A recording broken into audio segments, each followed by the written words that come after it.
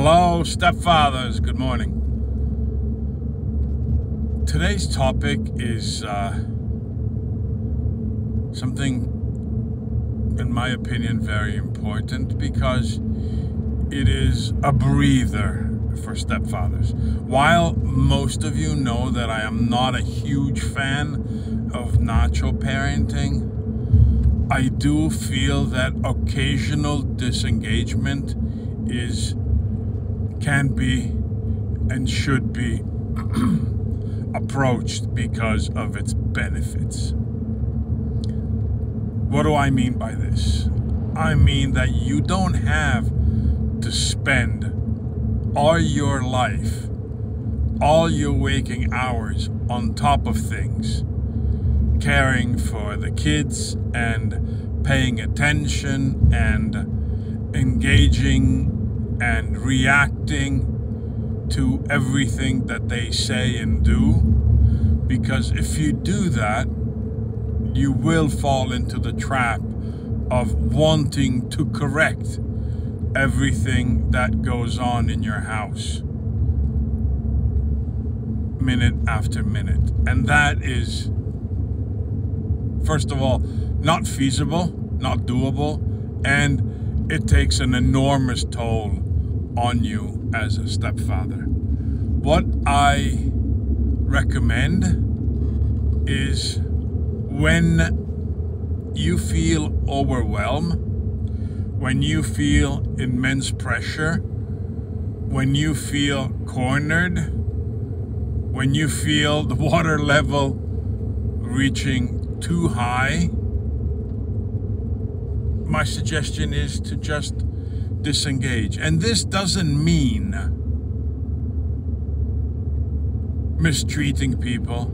That doesn't mean giving snappy answers because that is not disengaging. That is engaging in the wrong way. Disengaging means letting things go. Occasionally not caring about what is said. Occasionally not be willing to react. Occasionally, letting things go the way they are the way they are going without you needing to intervene. Let it go. Don't listen. If you listen, don't care consciously pay no attention. It happened to a friend of mine a few days ago. His almost adult kid was mentioning something that was bothering him, but that was very detrimental to the kid at the same time. The kid should have let it go and his stepdad, my friend, was feeling overwhelmed by needing to continuously correct the kid's attitude and this uh, dramatic responses and this uh, feeling of uh, persecution non-existent by the way that the kid was bringing upon himself, and he could have done one of two things argue with the kid, telling him to stop seeing things where things were not, or he could just listen, nod, say, Okay, I hear you, and not do anything about it. And that's what he did. I suggested that that is the proper reaction, that he can every now and then put in place, and he did. He put it in place. And he found great comfort in this uh, temporary temporary disengagement. He felt relieved. He didn't feel guilty because he knew he wasn't just giving up or not caring. He was just taking a breather and taking that breather didn't make him feel like he was slacking as a parent. He didn't make him feel like he was not caring. He just felt correctly like he was taking a breather. And the funny thing, the kid actually snapped out of it on his own, he noticed, because he wasn't being engaged in his so called fantasy.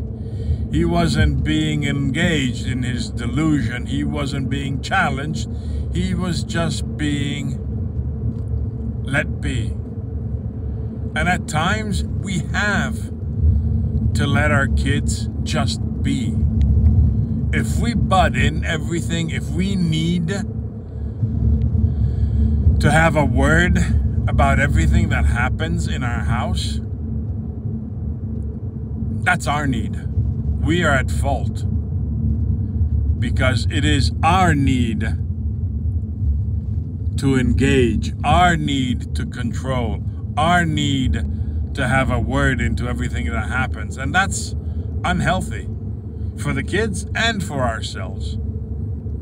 Let's get a grip on ourselves, choose the battles that are worth fighting, and the ones that are not worth fighting, don't debate whether they're worth fighting or not. Just let them go. Let things be. Disengage.